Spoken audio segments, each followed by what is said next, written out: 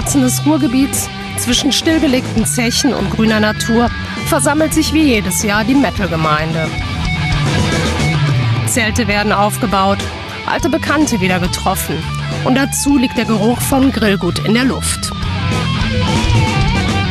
Hier werden in den nächsten drei Tagen 22 Bands auftreten. Bereits zum achten Mal findet das Rockhard Festival statt. Am Pfingstwochenende im Gelsenkirchener Amphitheater.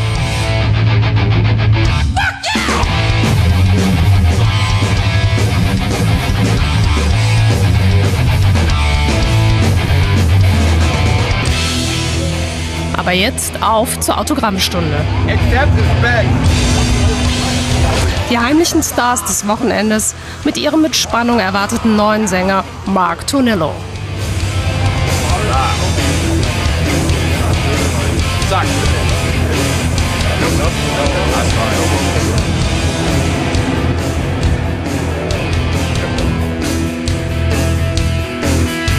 The future is predestined.